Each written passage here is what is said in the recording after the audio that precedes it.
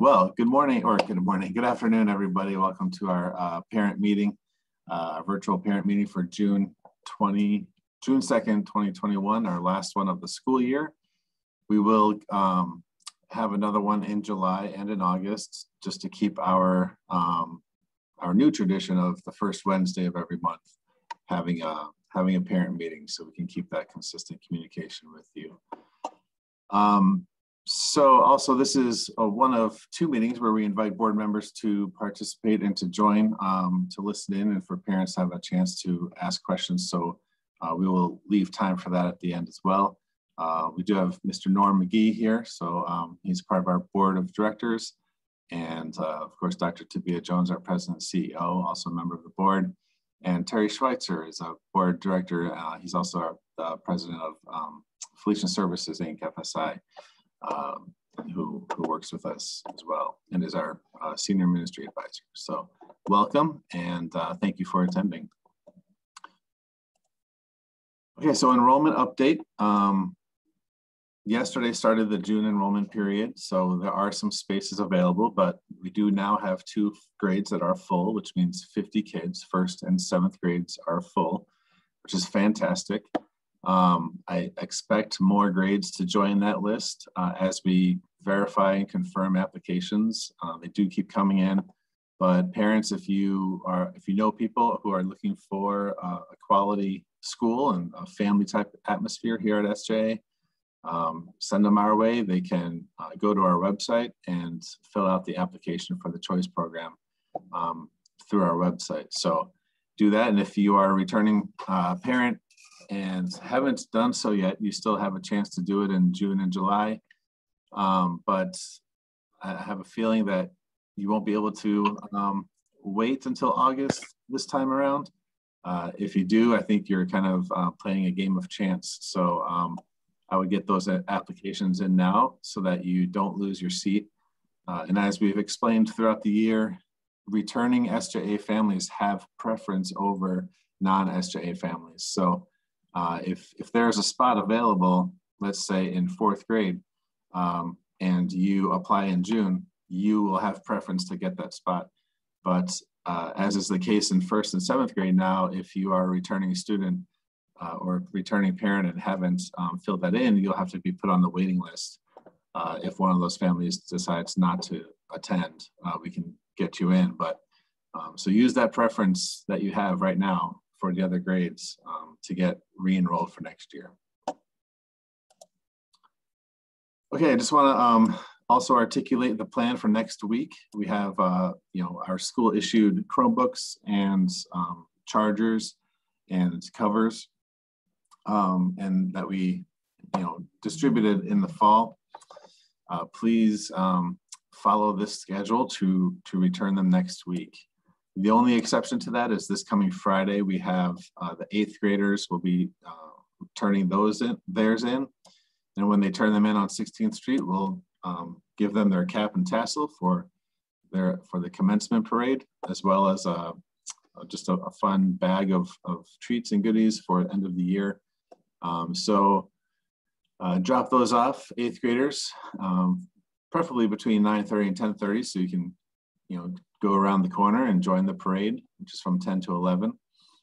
Um, and then the rest of the grades, please follow this schedule. So uh, on Monday, um, it'll be from 8 to 12 p.m. for K5 first and second grades. For Tuesday, it'll be third, fourth, and fifth grades, and Wednesday, sixth and seventh grades. So please turn those in and, um, and follow the schedule. Uh, if you have siblings, please come on the oldest child's day. That'll help with traffic. So for example, if your oldest child is in sixth grade and you have two other younger children, you can bring all of those devices in on Wednesday. Uh, only eighth graders can turn their technology in on Friday. And uh, each child should return um, the following things, Chromebook, charging cord, and soft cover. So tenemos la información en español también. Cada niño en la semana que viene debe entregar el Chromebook, la cuerda y la cubierta. Y estos días son lunes, martes, miércoles allí. Um, y para estos grados cada día. So por favor, sigue este horario para um, entregar la tecnología de la escuela. Okay, algunas cosas de la escuela de verano, some things about summer school. Uh, it's the June 14th through July 16th, so cinco semanas, five weeks uh, entre estas fechas aquí. Uh, el, hora, el, horario es desde las 8 de la mañana hasta las 12 y media, so from 8 a.m. to 12.30 p.m. We do provide breakfast and snack, but not lunch. So vamos a provenir uh, el el desayuno y el, um, algunos bocadillos, pero no almuerzo. Y hay dos opciones para la, para la escuela de verano, virtual o in persona. We have two options. You can sign up for virtual or in-person summer school. Uh, right now, we have la, la listas son llenas. The, the lists are, are full right now. Uh, but si tienes interés, puedes llamar a la, de, a la oficina um, para poner en la lista de espera. If you're interested, um, you can call the office and put your name on the waiting list. But right now, uh, we have our rooms full. But again, once it starts, if people don't show up that said they're going to, there could be some spaces that open up. Um, okay, so parent survey responses. I wanted to show you some of this. Um, este, uh, las respuestas del, del, um, de, la, de, la, entrevista de padres de la semana pasada.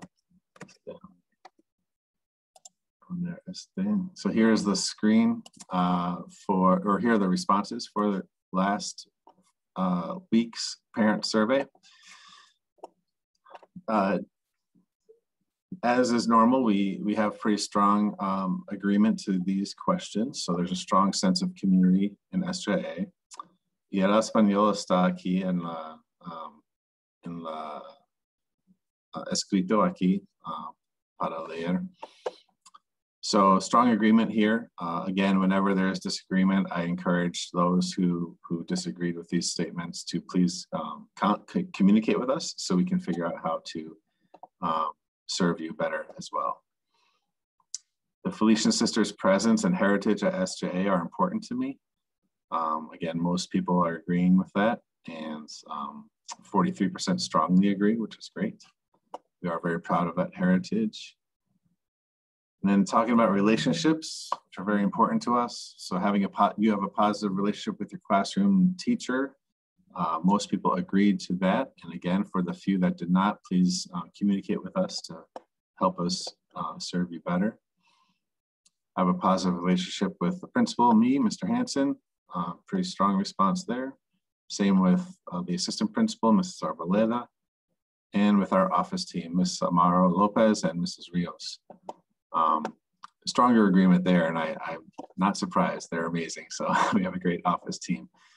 Um, but again, please communicate with us. Uh, I, I, know we can't always make everyone happy in every single situation, but um, we want to hear from you and, and try to work with you uh, to make that as, as, high, as strong as possible. And then talking about academics, SJA provides high quality instruction, very strong agreement here. Um, looks like 98% or so, 97. I know what SJA's reading curriculum is. It's over 75% agreeing, which is great. It's reader's workshop, and I'll explain a little bit more about that again towards the end. And then knowing why we chose the reading curriculum, a little less agreement, but still pretty strong, over 75%. Uh, and again, even throughout the summer, we're going to try to communicate about why we have the curriculum we have, because I feel like that's important for the parents to understand. And so with same questions regarding math, they're all over, over 75% about knowing what the math curriculum is and why we chose it. Math in our um, curriculum uh, review schedule, we are going to be researching our current math curriculum next year and spend the whole year just kind of analyzing it and making sure it's what we want. Uh, so we'll be asking for parent input on that as well next year. Regarding SJA and, and COVID-19, um, there's one extra question here, but these other questions we've asked before. So uh, this one is, I agree with the decision to continue virtual learning until June 4th. Over 75% agree with that. Uh, we do have about, you know, 20% disagreeing with that for various reasons. So thank you for, for the support so far. Um, and, and again, this was a tough decision. So we appreciate um, everything you're doing as parents to, to finish the year strong, which is in two days, believe it or not. My child has grown in their learning this year. Uh, the response is less than 75%, unfortunately. So um, I know the teachers are looking at uh, the results of the year and reflecting on um, how we want to start next year to, um, to grab the students who maybe did not learn uh, as they typically do and get them accelerated for next year and get them up to speed um, appropriately uh, so they are ready to go um, into next year. How pleased are you with the overall learning plan implemented by SJA? So um, very pleased is the purple and uh, green is uh, it's okay. So we're over 50% there. Um, you know, pretty big chunks that it, it could could be better, not terrible, but it could be better. About 11% very displeased. Um, a couple of you didn't have an opinion. So uh, again, our teachers um, worked really hard to, to get um, uh, the best learning experience for your children this year. Uh, and they were, they were learning things new as well. And uh, there's very strong evidence that all the hard work that our teachers did uh, did pay off for the students who attended every day and participated every day in class. So if, if, if, the students were meeting those two basic criteria, there was there's strong evidence that they were growing and learning. Um, uh, but yeah, uh, there, you know, we, we also acknowledge that um, this was virtual learning maybe wasn't the best um, venue for some kids as well. So again, next moving into summer school and next year, we're going to be trying to diagnose exactly what our students need so we can serve them in the best way possible. So re regarding summer school, whether you want your child in summer school or not, we're just trying to get a ballpark figure here. So um, 40 or 63% said no, um, they don't want their children in summer school. Uh, which kind of lines up a little bit to um, these numbers here, which is about 60 some percent um, saying that the overall distance learning plan was okay. Um, so that kind of matches up. 17% uh, said that yes, only if it's virtual. So there's still a um, pretty significant group of parents who are uncomfortable uh, bringing their child to school uh, this summer. Um, and then 20% uh, said they, they don't care if it's in person or virtual. They, they want their kid in summer school, which is perfectly understandable as well. And then the last question we asked is, besides the narrative uh, answers, is currently what is your preference as a parent for next year's learning model? And um, uh, the vast majority said in person, so 77% uh, want their child to be here. And 23% uh, want to keep them at home. So we will be asking you this question uh, at least two more times this summer. Um, and uh, it'll be interesting to see if, you know, if these numbers change. Uh, we will be providing a, uh, a virtual option next year, uh, but our goal is to be um, to get, get as many people in person as possible if it's if it's safe to do so. And that's always been our our um, threshold is the safety of everyone involved. All right, so those are the responses from last week's survey. And I, there's a follow-up slide here. Yeah, so given all of that, um, the, the preparations for next year, I just wanted to articulate out as well. So again, uh, puedes, ser, puedes ver los, uh, la información en español a la izquierda aquí. So like I just said, the goal is to have 100% in person, K4 through eighth grade. Uh, but we understand that we may need to offer the virtual option for, for parents. So we're gonna, we've already started, you know, planning for that, uh, for that reality. We'll be giving you small updates throughout June and July, um, at least once a week. We'll be sending something out. Uh, and then we, we do have a specific date that the week of June 21st, we're going to ask you parents, uh, all parents, to make a decision. so that we have at least a month to uh, prepare class rosters, figure out who's virtual, who's in person. So that'll come out on the week of June 21st. And it'll be right now a, simple survey of two questions. Dos preguntas. Um, do you want your child in person or do you want child virtual via Swivl? Swivl son um, estos robots, like rob robots, uh, and they, they move, se muevan uh, con un, un iPad y pueden ser en casa, you can be in house, at your house, mirando la, la clase en vivo. You can be at your home watching the class live uh, with the teacher so the kid can hear everything the teacher's saying to the in-person students uh, and following them along or following along with them. Uh, so that's how we're going to be tackling um, students who, who wish to be virtual uh, and how they can still access the learning material. And then the second question in that June 21st survey is going to be asking you to teach us about your child. You know your child the best. Um, and we want to know, we want the information from you and not we here in the office, we do, but your child's teacher next year is going to look at those answers that you provide so they can learn from you about how this experience was for them during this school year because every every experience is, is, is different. Uh, and we want to give you an opportunity to share um, what worked well for your child um, what could have been better what your child is looking forward to uh, being in person again uh, all that kind of information will be really helpful for our teachers.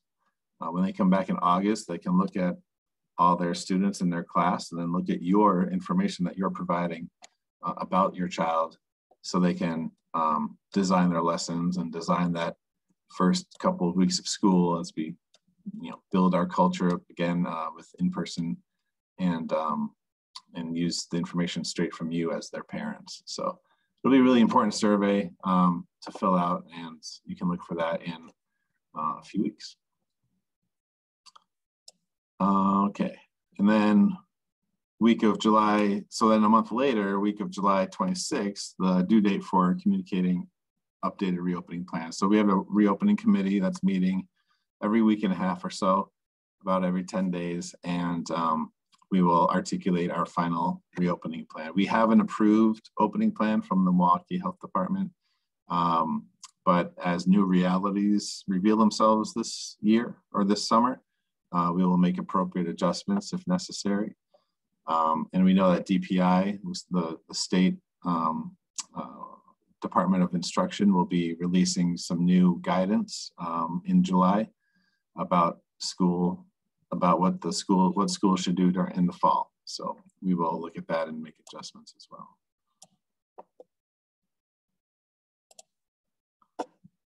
So algunas cosas de nuestra curricula, a few things about our curriculum. Uh, se llama Taller de Leer, Reader's Workshop. Um, and the, the basic model for this um, starts uh, with the mini lesson, which is about 15 to 20 minutes, sometimes as short as 10 minutes, but um, that's where the teacher uh, teaches the new skill for the day um, and um, has an engaging activity to kind of um, show you know what that new skill is and and teaches them about it and then students have an opportunity to practice that skill in class uh, while they're reading the book that they chose. And so um, they have over half of class time to, to actually practice reading. And we feel rather strongly that in order to get better at something, you need to practice doing it. And so um, giving kids the chance to practice a new skill, just like it was a sport or athletics or something, practice that new skill while doing that sport or doing that activity with your coach right there, with your teacher right there in the room. And then as the kids are reading, then the teacher takes that time to meet one-on-one or to meet with small groups um, during that large independent reading time. So they're not just sent off to read blindly. Uh, the teacher is there and working with small groups and, um, and, and, providing that assistance uh, throughout the lesson. And then at the end, there's a share out because we know there's value in sharing your new, what you learned, what you how you applied your the newly learned skill to your the book that you chose that you're reading Uh, and as we know, you learn something really well when you have to teach it. So it's an opportunity for um, kids to experience that each day as well at the end of their lesson. So it's exciting, and we actually have a whole lot of new um, new books coming to the school over the summer that kids will be able to choose from. So pretty excited, and we hope that we can um, that your kids will be uh, renewed in their excitement for reading, being here every day and and seeing what their friends are reading and seeing the books that their friends are reading, talking about it, having those conversations that were a lot harder to do this year. So we're really excited for that. And then our math curriculum is everyday math. Um, and the, the basic structure here also is, you know, they start up with some warm up activities. They uh, building number sense, basic math skills, addition, multiplication, division, fractions. And, um, and, and so they're preparing for that new content during these warm up activities. Uh, and then the main part of the, the lesson of that particular skill for that day, uh, they apply and explore content through different activities that they design. And then there's review and assessment at the end of the, at the end of the lesson. Uh, and this particular curriculum cycles through the skills. And so they'll, they'll have a chance to practice um, different math abilities and skills multiple times uh, throughout the unit and throughout the year uh, instead of just only doing fractions for September and then never doing fractions again. So, um, so yeah, that's our math curriculum. And, and again, that'll be up for review next year. So um, time check here, it's 322. Tenemos ocho minutos más. Si tienes preguntas, um, pueden uh, uh, uh, usar su voz. You can use your voice now and unmute your mic if you want to uh, ask a question, or you can also use the chat box as well. So, any questions?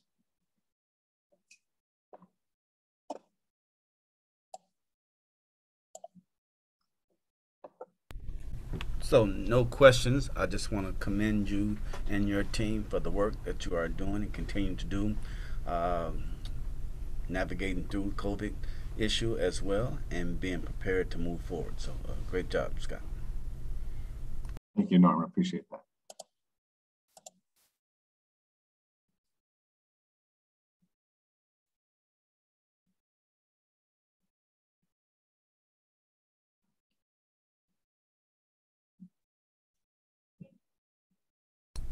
Scott, you gotta do a game. You gotta make everybody say something. oh, some people might be driving. I don't want to cause any car accidents. Uh, um, Thank you, Scott, for the update. sure. I thank you. appreciate it. Welcome.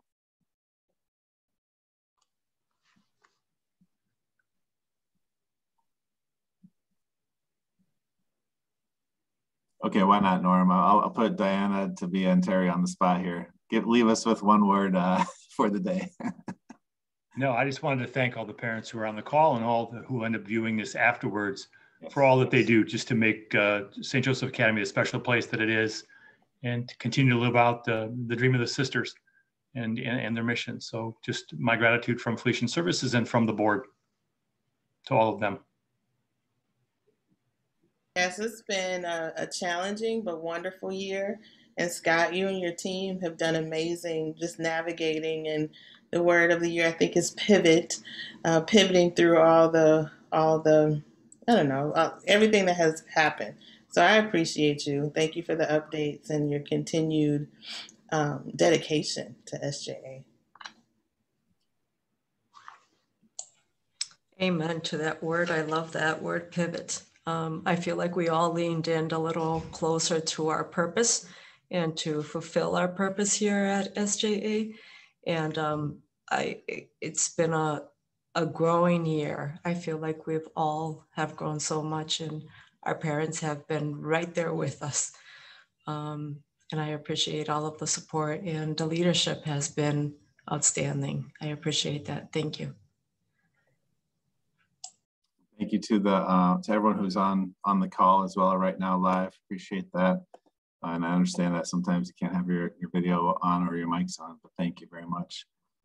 So until July, um, thank you. And we hope to see uh, K-5, fifth grade and eighth grade uh, families uh, rolling down the street on 17th Street on Friday morning, 10 a.m. from any time between 10 and 11.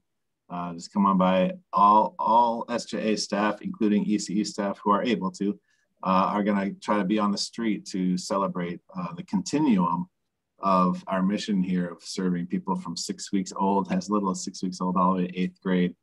Uh, we're inviting the whole the whole gang out to to celebrate. So um, should be a fun day on Friday, June 4th. Thank you very much. Have a blessed day. Thank you, Scott. Bye, Bless- everybody. Well, thank you, Tabia.